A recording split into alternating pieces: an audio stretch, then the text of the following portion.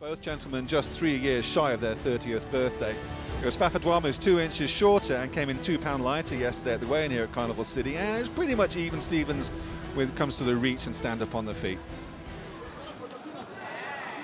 And some good takedown defence, but there's Oh a nice goodness. exchange there by Chifumbu. Fafadwama just reverses him, puts him back up against the cage. Good pressure from Sylvester. By the way- Comes back, oh, it's a nice Oh! left high kick. There it is. That was a money shot right there on the side of the head of Fafa Dawama. Let's try and turn him over. And he's got his back now. Uh-oh. He's got the hooks in. Here It's comes Chipumbu.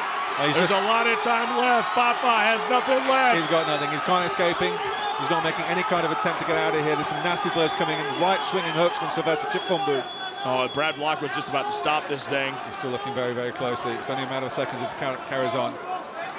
Fafa trying to move around. I think Sylvester needs to go back to the strikes. I think he can end the fight if he does. Yeah, coming out into the third, Sylvester was teasing that left high kick, waiting for his opponent to flinch, which he didn't do. So then he just shot for it and just said, I'm going to kick you in the head anyway. With, with, with my fake to switch. With Ace Oh! There's some big right shots coming in there. Fafa takes another big hook. Oh, it's a legal blow with a All right. massive side shot to the head. That's going to be over. It's going to be a disqualification. That was Sylvester Chipumbu just lost that fight. There's no doubt he was a grounded opponent. No, 100%. Ladies and gentlemen, referee Brad Block calls a stop to the contest at one minute, two seconds of round number three. Your winner by disqualification due to an illegal kick to a grounded opponent, Fafa Kilayomambele Duama. And It's quite an interesting one because there's some very similar statistics, but it's 11 years elder is the Congolese athlete Guy Mongambi, but the height and the weight is pretty much on the button. Then it's a slight reach advantage that goes to Guy Mongambi. Oh, it's a nice right from Devin. It was a good nice exchange. left. He walked into a left there from Did, Guy did didn't he? Oh. oh, big shot by Cronje. He lands that one. It's one of those simple things of train hard, fight easy. And both camps have always done that in the past. And speaking of one Oh, of those oh, products, here we shots go. coming from Cronje. Uh-oh, Cronje is exploding with right hands. He's going to try to end this fight. I think Guy Mugambi is hurt. He's trying, he's not getting away from anywhere, goes to his back. Oh my goodness, what an explosion by Devin Cronje. A special part of your brain is able to switch over to the logical part of the brain and think through that situation. And because Oh, the here we shots were coming in hard and fast, Montgomery wasn't able to Time do to go that. down to And He's in business. full mount. Full mount, ladies and gentlemen. Just about two minutes left. If Bob, excuse me, Guy Mugambi is in big Oh, some nasty shots coming in. Don't forget, Oh my God! Devin Cronje's got a strong back attack, so he's going to soften him up. He's going to get that right arm underneath the chin and look for the rear naked. Well, I know Guy Mugambi's tough, but whoa. He's taking quite a hellacious beating right now, isn't he? Rough shots. They are on the money. and this stop fight is all over.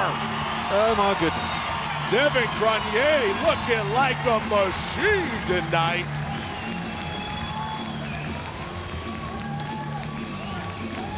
Your winner by TKO to the strikes, Devin Cronje. Eight years elder is Madness Marcel Elson. He's also two inches higher. Both gentlemen weighed in yesterday here at Carnival City in Johannesburg, 155 pounds apiece. But it's a five-inch shortage in the reach as a disadvantage to Marcel Else. The skill set in these areas, this is going to end very, oh, very no quickly. glove touch. He may pay for that one. Saxon What a oh, Delafield. great trip throw. The power of the sax bomb. Marcel Els may have made a fatal mistake. Not touching. Oh man, oh, watch Oh, some out. nice strikes. Marcel's in trouble. He's got the Oh, plug clinch on. Some knees from the inside, possibly. He's looking for the guillotine, but he hasn't got it. It's a big explosion from the sax bomb. Oh man, that was something special. That first 20 seconds. But we've seen Delafield explode like that in the Oh, past. and a nice takedown there by Marcel Els. I didn't even get to tell you what trunks they were in or anything. Round one, of course, brought to you by Dragon Power. Here we go. He's got the arm. He's got the arm bar.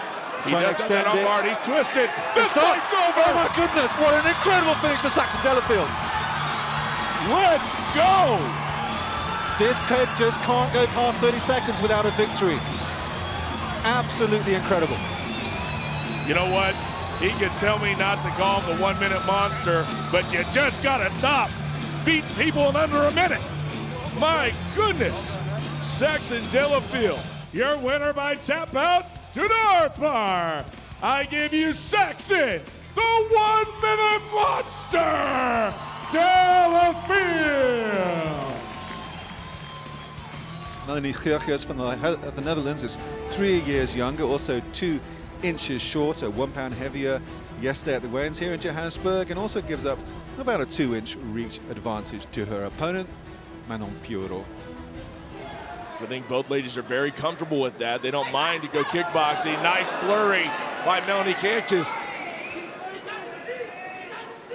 One of, the, one of the few disappointing, if not... Oh, it's a great right question kick that landed flush on the side of Geurgers' faces. She's ready. She's determined. Round number two brought to you by Dragon Energy Drink. These kicks are coming. She really wasn't dissuaded from those nasty leg kicks that were coming in from Fiorot. Ooh, wow. Look at those hammer fists by Manon Fiorot. Let's see what she has left in the tank. Both these ladies. Oh, wow.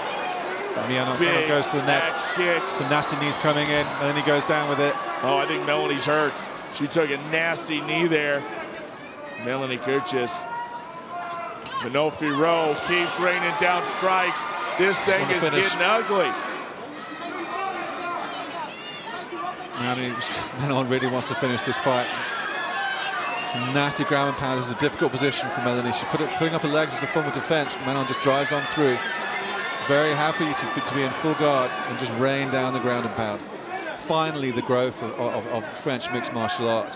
In 2020, it's going to be one of those countries that really going to explode on the scene. It's people like this, like Manon Fiorot, that should be spearheading that new drive of French mixed martial arts. Great to see. Left hands coming down. Nasty. And there it is. This fight is over. This fight is done. No, Fiorot stops Melanie Geurgers. She is the winner of the Fighter Season 2. Your winner by TKO to the strikes and the winner of the Fighter Season 2, Manon Fiorot.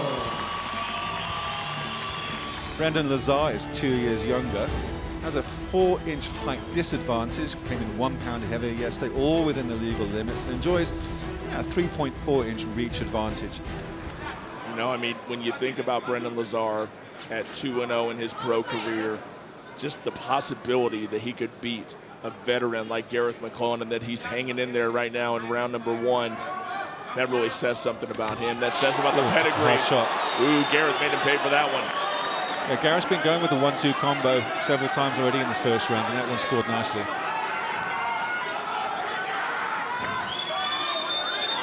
Then he's got a quick counter. There's a hard left! McKellar's down! He's finished! Oh, oh my God, what a shot! Whoa! Unbelievable! Probably the greatest upset in the history of African MMA. Oh my word! Oh my stars! Brendan Lesar just knocked out McLellan! You'll remember this day. One of the biggest knockouts in EFC history. Your winner by knockout and new EFC interim middleweight champion of the world, Brendan Descendant Lesar.